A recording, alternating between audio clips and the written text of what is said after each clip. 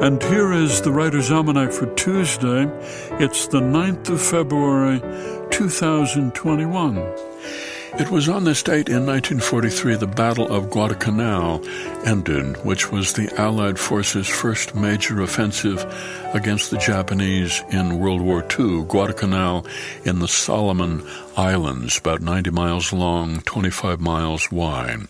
The Japanese had taken it in June 1942, intending to build an airfield and from there launch long range bombers. The Allied invaded on August the 7th, 1942, and took over the airfield. The Japanese launched a counterattack in November.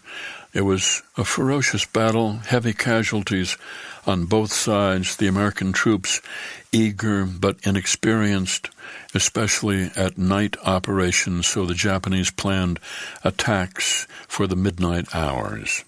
For every soldier who fell in battle, others fell to malaria or dysentery.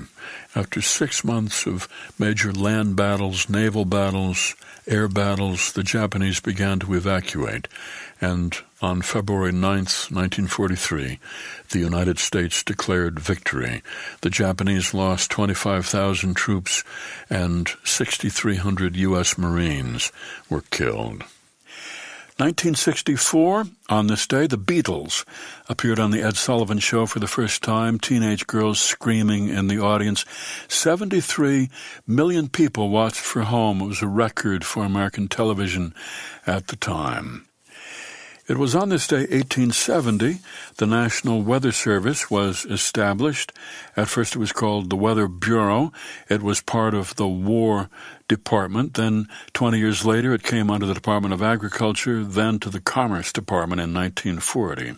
These days, the National Weather Service is based out of Silver Spring, Maryland.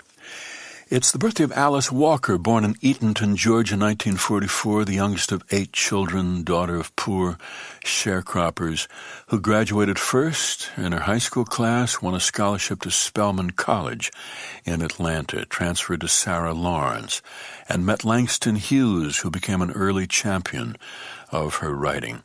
Began to publish poetry in the late 1960s, and it was with her third novel, The Color Purple, in 1982, that she reached a much larger audience. It won the Pulitzer Prize and the National Book Award in that year. And it's the birthday of the playwright novelist Brendan Behan, born Dublin, 1923.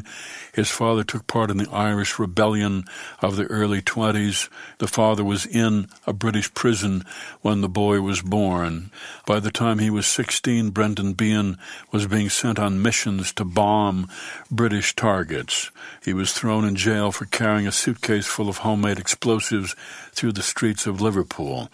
And while in prison, he began to write. He wrote his first play, The Quare Fellow, and then the novel Borstal Boy and The Hostage, in which he wrote, Never throw stones at your mother, you'll be sorry for it when she's dead.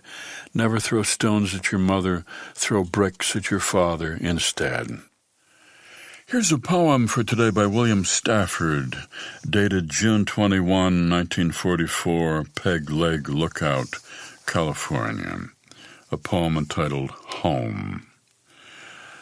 Our father owned a star, and by its light we lived in father's house and slept at night. The tragedies of life, like death and war, were faces looking in at our front door. But finally, all came in from near and far. You can't believe in locks and own a star.